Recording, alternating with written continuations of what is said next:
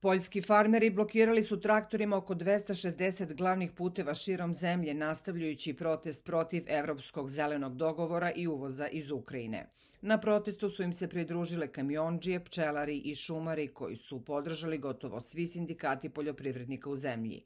Blokirane su i granice ka Ukrajini. Protivimo se ograničenjima koja bi nam nametnuo Evropski zeleni dogovor i protivimo se prilivu nekvalitetne ukrajinske hrane u Poljsku po liberalizovanim trgovinskim pravilima Evropske unije, kaže za Euraktiv uzgajivač jabuka iz centralne Poljske. Evropska komisija je 31. januara obnovila suspenziju uvoznih dažbina i kvota na ukrajinski izvoz u Evropsku uniju na još godinu dana do 2025. godine, dok je pojačala zaštitu za osetljive poljoprivredne proizvode Evropske unije. To ipak nije zadovoljilo poljske poljoprivrednike koji mehanizam zaštite smatraju preslabim.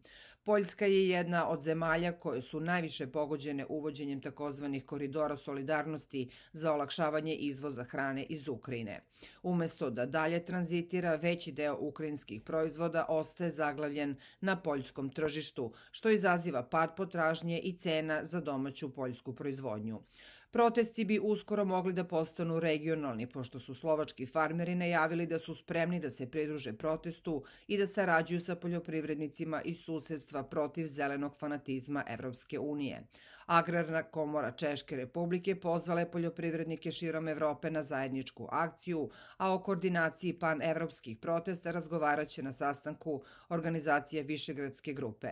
Poljski farmeri bili su odložili proteste do marta, te na pitanje Euraktiva šta ih je postaklo da ipak nastave sa demonstracijama, Zarzetski kaže da se kod poljoprivrednika nagomilalo previše gorčine.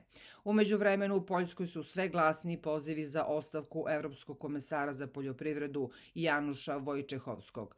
Postoji osoba u Evropi koja je ujedinila sve evropske i poljske poljoprivrednike protiv reforme koju je on sam predložio, kaže poljski ministar odbrane Vladislav Košnjak Kamiš, koji je šef agrarne Poljske narodne partije, pozivajući se na ostavku Vojčehovskog.